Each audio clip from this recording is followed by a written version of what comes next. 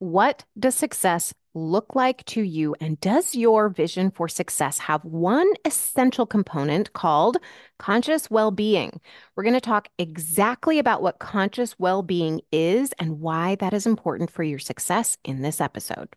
Hello, hello. Okay, so last week we talked about creating a vision for a life and a law practice that you love, I highly suggest that you go back to that episode and you download the PDF that I created for it. It's called Designing a Vision for a Life and Law Practice That You Love. You can listen to the episode and download the guide at dinacataldo.com forward slash 304. So, a vision is what your version of success looks like. And there is a key component of creating any vision that I want to focus on today, and that is conscious well being. This is not about self care, but self care is part of it. It's about reconnecting with yourself and what you want and not letting society structure decide your life for you. That requires that we have awareness of what we're being spoon fed by the world around us and taking a step back to ask ourselves what we truly want. It takes our conscious decision to do what we know is right for us, even when it's not what the mainstream in the legal community or in our friend circles might think is the right thing to do. That's really what conscious well being is. It's our ability to be present with ourselves long enough to make conscious decisions in alignment with what we want, whether it's in our practice, our relationships, what we decide to eat, with what we decide to add to our lives or cut out of our lives, with who we decide to hire, when we decide to hire, with what tasks and projects we do and we don't want to take on. And this is not a practice of perfection, okay? Because we can't be perfect at this. We are humans. We can't be present all the time. We're going to make mistakes. That's okay. There obviously just so many things in this world vying for our attention. And until we decide to become monks on a mountaintop somewhere, well, we are always going to have things pulling for our attention. So do not use this concept of conscious well being as a whip to beat yourself up. Use it as a tool to help yourself move more into alignment with conscious well being as you define it for yourself. And stay till the end of this episode because I am going to ask you a question to help you measure where you are right now with your conscious well being and know what your next steps are. One area where we can really dig into this concept of conscious well being, because it's just so easy to see with our eyes, you're going to see exactly what I'm talking about as we go through this, is the topic of success most of society respects lawyers, right? Even if you hear those occasional jokes, it is because lawyers are well respected. They're known for being incredibly intelligent. And most people believe that lawyers are all making lots of money and they have a lot of money. And by anyone's standards, yes, we do make a lot of money.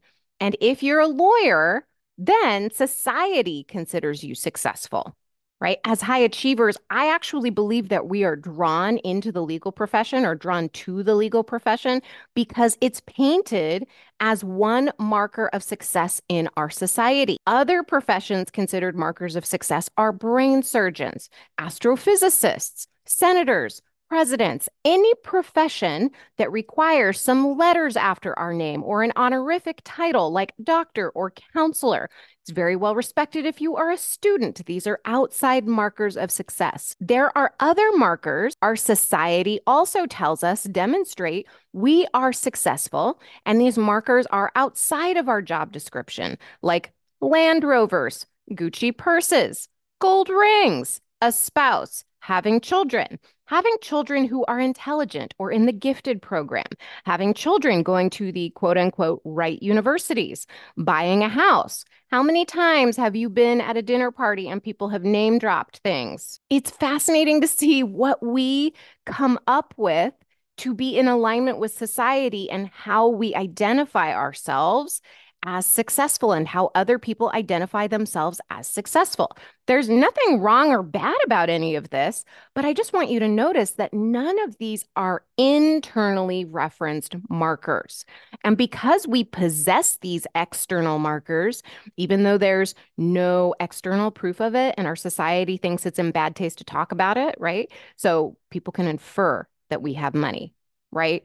If we possess these items, if we have these things going on in our life, people can also infer that we have money.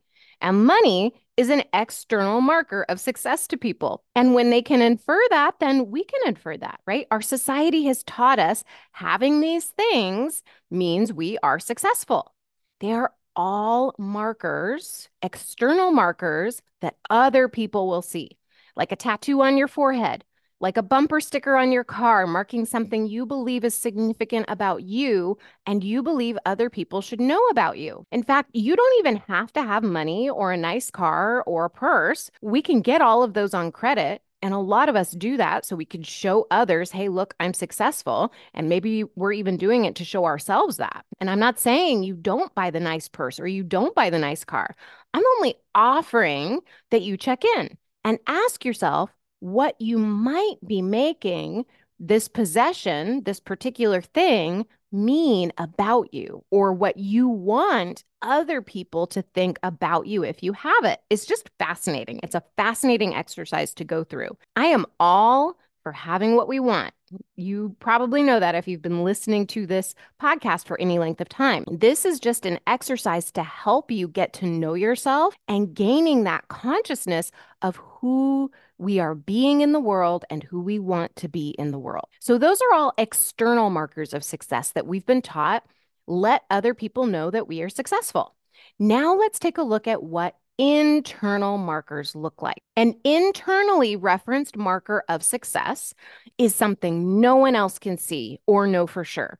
It's something we know for ourselves. It may even be something we're a little self conscious about at first because it's so different from what other people are doing or what we've been taught is socially acceptable. Internally referenced markers of success really come down to you living the life that you want and breaking down the structures that have told you what success should look like. It's doing things like deciding you want to say no to someone's request simply because you don't want to, because you value something more, like your quiet time or peace of mind. This takes internal fortitude. No one can see it or may even understand it. They may even judge you for not saying yes to their request. It's doing things like deciding you want to start a business, even when it feels like you're taking a step backwards in terms of your prestige or your title. You may even have people tell you this. I had that happen, right? But you are certain of what you want and you stay with it. It's doing things that we might be afraid other people will think are strange, like deciding we want to leave the office at four o'clock while everyone else in the office stays until six or seven, or deciding to go for a walk in the middle of the day, even though everyone else is sitting at their desks. It's doing something like making a decision that other people might disagree with or may even displease others, like saying no to an assignment others think is a really big deal because you know that it's not in alignment with what you truly want to do, or it's not going to move you in the direction you want to go. Other people may not understand that, and so they may even judge you for it. It's doing things like for entrepreneurs, setting a schedule that works for your life and raising your rates to reflect the results that you get to your get your clients, not out of fear that your clients are going to leave you. In all cases, it's making what you want a priority. But we're not taught to be internally referenced, and we're definitely not taught to value what we want as important. We're taught to look outside ourselves to see whether we're successful and whether we're doing things and having things that other people think are important. So, doing these things is incredibly uncomfortable. It's going against the norm. It's breaking down structures that you've been immersed in for 20, 30, 40, 50 years or more. And I have experienced all of them. One of the easiest ways that I have seen this show up with lawyers, and a really great example that I can show you here on the podcast, is when I show lawyers how to make a calendar that aligns with what they want. It is a totally different way of them looking at their time. And I can get a lot of resistance, a lot of pushback from lawyers who have told themselves over the years calendars don't work for them or that they simply don't have time to sit down with a calendar. I get it. I was resistant too until I saw the power of doing things differently and I saw the impact that it had on my quality of life and saw that I was taking action more consistently. I didn't have to be perfect at it. I didn't have to use my calendar to beat myself up and tell myself I wasn't doing enough. I could just see, like, oh, yeah, okay, I can see where I am taking more action. I could actually keep track of it and I could be proud of myself for that. So, the key to making a calendar that you will actually do and that you're not going to use to beat yourself up is to put you on your calendar first. Crazy, right? Put you time on the calendar. Then you put family events on the calendar and then you put work. That feels uncomfortable for every single person who's a high achiever, who's a lawyer, right? It is going to feel uncomfortable because that is not what we are taught. Okay. We are taught work the ultimate evidence that we are successful per the legal profession comes first above family and definitely above ourselves. So let me repeat that because your brain just might have skipped over this part because it's so foreign to us. So when you are creating a calendar, you put you time on the calendar first gym, quiet time, time to read, a book for fun, gardening, what you want to do, what you want. And then second, you put your family and friend time on the calendar events, dinners, etc. And third, you put work, time blocks for assignments, phone calls, checking emails, etc. And right now your brain might be coming up with all kinds of objections. I want you to quiet your brain for a second because this is not about time management. This is about conscious well-being and whether or not you're practicing it. And if you haven't been really involved in this world and really in in really leveling up this area, it, it could feel really uncomfortable right now. I want you to know that's normal. Okay. This is so foreign that it can feel scary breaking up these old structures. And if you're feeling resistance, it's because you're so immersed in the structure. I get it. I was there for 16 plus years just in the legal profession. And then even before that, when you're in university and you're in schooling before that. So that's all normal. I want to bring us back here though, because you don't have to believe me about any of this. Just try it. You're going to realize how much less you resent work and how much more you're going to accomplish at the office when you make what you want a priority. But I want you to see this. When you do something like this, when you start breaking down structures, when you start doing things completely differently than what the legal profession has told you is okay or what your brain has told you is safe, and you make what you want and prioritizing what you want important, that is an internal marker of success. In the seeking of success as others define it, we lose connection with ourselves and what we want. We lose connection with our well being. We lose connection with what feels right. We start second guessing ourselves. We start overthinking. And none of that matters. All those external markers, what other people think, none of that matters. And people will judge you, they won't understand. I've had clients who have had lawyers walk into their office just kind of quizzical, like, how do you get so much done? Like, what's going on here? And it's first, it started as kind of judgment, like little jokes here and there, right? This attorney told me that, yeah, they, they would make little jokes like, oh, you're leaving early again, or oh, you're taking Friday off again. And then later they started coming in and saying, like, how do you do it? Can you show me how you manage your time? Because I, I'm so overwhelmed, I don't know what to do with myself. So people will judge you. They're not going to understand it. But when they start seeing you killing it, they're going to want to know your secret. I'm going to give you a little example here of how these external and internally referenced markers can really impact our trajectory. So, Stephen King, you probably know him. He is an author. He was rejected by 30 publishers if he were to submit to external markers of success, he would have stopped submitting his work and gone on to do something else, right? Because 30 rejections, right? That feels horrible being rejected. But here's the thing about external markers of success. They don't always mean you're successful. Just like what I was saying about how you could get a purse on credit. that having a nice purse doesn't mean that you're successful or somebody else having that nice purse doesn't mean they're successful. It just means they have a purse. Because Stephen King didn't rely on those external markers of success, having the acceptance letters immediately, he was told by these publishers like these these stories were not going to sell, that his type of writing simply wasn't good, that it was not something that people were ever going to buy. But because he didn't rely on what other people were thinking and saying about his work, he's now worth over $500 million. That's pretty crazy, right? So, not allowing what other people believed made a successful story helped him create his um, internal markers of success, right? He just believed his own internal markers that this is what a story is. This is how I write. This is going to be successful.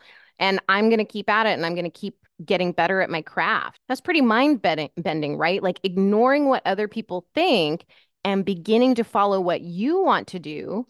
Then you can begin creating not only those internal markers of success, but then they begin becoming reflected externally right? But it's got to start internally. I will offer to you that because Stephen King dropped the expectation of creating those external markers of success, that he made what he wanted a priority and that he created success on his terms. But it all starts with those internal markers and getting in alignment with them and understanding whether you're connected or not. And as long as we're looking outside of ourselves for the signals that we're successful, we are going to stay disconnected from what we want and attached to what other people want us to be. So here's a question to ask yourself to get awareness over whether you're more externally referenced or internally referenced. This is not a tool to beat yourself up with, my friend. It is an awareness tool.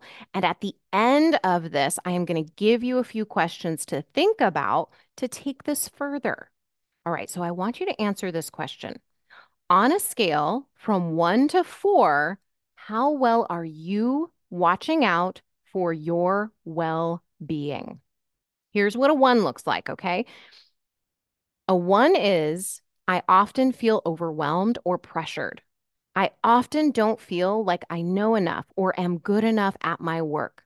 I often tell myself that I need to suck it up and get over it. I often tell myself I should be better or further along than I am now. I often tell myself I need to do more. I'm often impatient and am quick to anger. I often snap at my husband or wife and then I feel guilty about it. I often feel guilty when I take time off. I often tell myself there's nothing I can do, so I better just deal with it. My happiness often depends on what other people think about me or the work that I'm doing. I often find myself working later hours because I want other people to think that I'm a hard worker. I often reach for substances like unhealthy foods, alcohol, or something else to numb out or feel better or take the edge off. I often overdo things to feel better, like work out until my body wants to collapse or create strict rules for myself that I need to comply with to feel better about myself. Here's what a four looks like 90% of the time, Notice this, okay? I'm going to pause right here. 90% of the time is what I say. I want you to see this because a four does not mean perfection. We are all human and we all have human days. We have all done the things that I just mentioned. So, so I don't want you to think that a four is perfection. Don't use this as a tool to beat yourself up. 90% of the time, I feel calm and relaxed. I manage my time well. I am kind to myself. I am kind to others. I ask for what I want. I'm honest with myself and others about what I need. I feel good about the work that I do. I take time off without feeling guilty. I feel confident that I'm doing exactly what needs to get done. I don't care what other people think. I'm present with my family and my friends. I feel like I'm good at managing my emotions. If you're at a three or a four, that's amazing. This is an opportunity to celebrate and to see just how far you have come because I know from personal experience that getting there takes dedication and commitment to personal growth. So amazing for you. I celebrate you today. If you're at a one or a two, this is an opportunity to see where you can take your life to the next level. I want you to start by asking yourself this Where will you be six months from now, a year from now, if you continue down the path that you're on? What will be the impact on your emotional well being, the emotional well being of your family, the impact on your practice if you continue down that road? And when you sit with this, when you sit with the impact, do you like what you see? And I'm going to assume that you don't. I'm going to assume that you don't like what you see. So the next question is what are you prepared to do about it? Because what's gotten you here is not going to get you to the next level. It's not going to get you where you want to go. The habits you've created so far will not help you live into the vision that you've created for your life. You've got to create new habits. You've got to start breaking down those old structures. We've got to start peeling back those layers one at a time so we can reconnect with our center. Our center is where what we want is, and we've got to say yes to that. We've got to incorporate that into our vision for our future. If you are ready to start peeling back those layers to reconnect with what you want, so you can be in that three or four range, or let's say you're in a three or a four range, I want to take your life to a five or a six. I want you to just live the most amazing life, to love your practice, to love every aspect of your life. I can help you with that. I help my clients move from where they are to where they want to go consistently right now you might feel like, hey, I can't budge. Like there's just no room for growth. And I want to share with you that's 100% not true. I help my clients with it all the time because if they come to me as a one or a two, I help them get into the realm of a three or a four. And when they come to me at a three or a four, I take them to the realm of fives and sixes. So come book a strategy session with me. We're going to have a good time. You're going to learn about yourself. You're going to understand, hey, there's just some things here that I can tweak that can help me take my life and my law practice to the next level. I'm there to support you. I'm there not only to be your cheerleader, but to help strategize, to help tell you like it is, and to show your brain, hey, don't believe all these externally referenced markers. Let's start creating some internal markers and start really connecting with what you want and aligning everything in your life, everything in your law practice with what you want book a strategy session with me at dinacataldo.com forward slash strategy session. And I want to remind you that what you want matters and it's within your power to make it happen. All right, my friend, I will talk to you next week. Have a beautiful rest of your day. Bye.